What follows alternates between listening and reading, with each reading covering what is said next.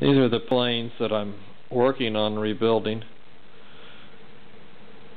I bought all but one of these off of eBay recently.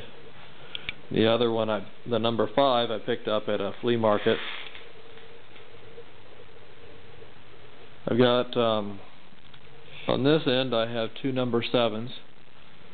Uh, one of them's got a good bit of rust on the body. Um, this one actually looks in pretty good shape. I don't think it'll take much to get it going. Here's a number 6. I like the size of the number 6. I think it's handy. But this is by far the roughest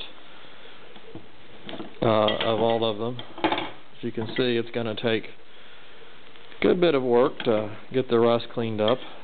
Won't be too bad, but it'll take a little bit. This is a number 5 that I picked up at a flea market a while back. I'm pretty fond of the tall knobs on on my planes. For some reason, I just can't get used to the the short knobs. Um, I have pretty big hands. Here's a number four smoothing plane. I think this will be a real nice unit when I get it working again, tuned up. And this is a number three. Really, I don't have to do much to this at all. And it looks like it's in very good condition.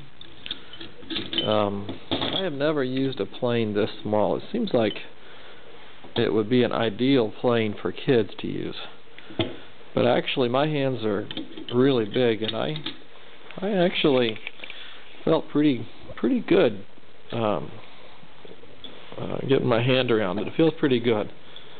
So, we get it cleaned up. We'll take a few passes with it and see how it works out. I'm planning to sell most of these. I'll probably keep the uh, the number five,